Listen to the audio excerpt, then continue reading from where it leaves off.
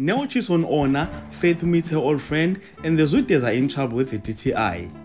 That is what you need to expect on House of Zwide this coming week, and if you want to learn more about it, please tune in on this video.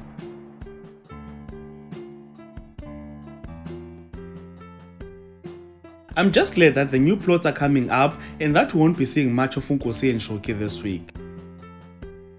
After Ona and Neo's planned date, I cannot wait to see how it goes. I was so shocked watching this week's teasers and according to them, Neo cheats on Ona which stimulated me even more. You guys will remember that Neo and Ona planned to meet together in a hotel where they were going to have their first dinner as a girlfriend and a boyfriend, if you understand what I mean. So, I'm wondering Wuti, did Neo cheat after or before getting the cookie from Ona? You know, I wish Neo cheated after eating Ona's cookie. I'd be so proud of him. Get that ladies, if Neo did that to Ona, that would be so so so bad. In fact, we South African men do not condone that. It's wrong.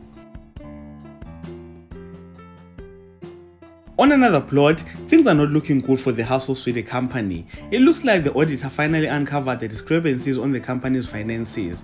And on this week's teasers, Omavoso is seen talking to Funani, telling him that the House of Zwide and its finances are being scrutinized. I don't know whether this is good or bad, ladies and gentlemen, but it appears that the auditing company that is auditing House of Zwide finances is owned by Faith's old friend going by the name of Loyiso.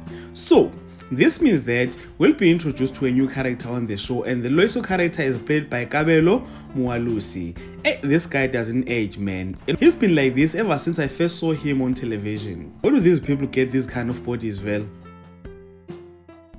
So, as I've mentioned, Uloyiso and Faith know each other from way back. The House of Zwide fans on the comment section were so excited commenting about the way that Faith and Loyiso look at each other. And here's a look that they are referring to.